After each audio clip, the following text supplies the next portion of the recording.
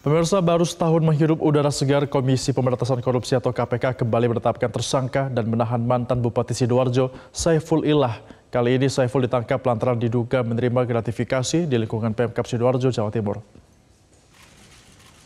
Pada selasa siang, penyidik KPK memeriksa Saiful Ilah yang telah ditetapkan sebagai tersangka. Setelah menjalani pemeriksaan selama tujuh jam, KPK langsung menahan politisi Partai Golkar tersebut.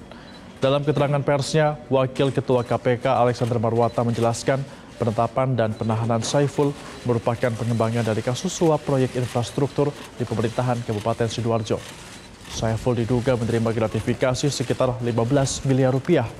Penerimaan gratifikasi itu diduga terjadi pada dua periode kepemimpinannya, yakni pada 2010 hingga 2015 dan saat dipilih kembali pada 2016 hingga 2021.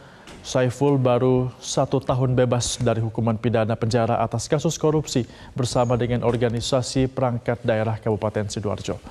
Saiful sempat menjalani bui selama dua tahun dan bebas pada Januari 2022 dari Lapas Kelas 1 Surabaya, Jawa Timur.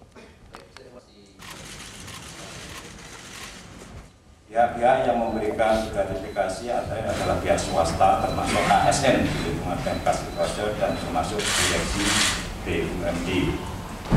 Terkait teknis penyerahannya dilakukan secara langsung dalam bentuk uang tunai diberikan dengan pecahan mata uang rupiah dan mata uang asing untuk dolar Amerika dan beberapa pecahan mata uang asing lainnya.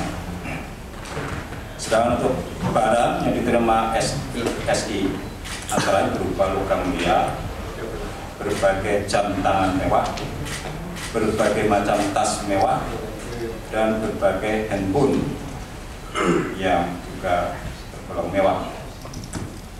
Sejauh ini besaran gratifikasi yang diterima sekitar 15 miliar rupiah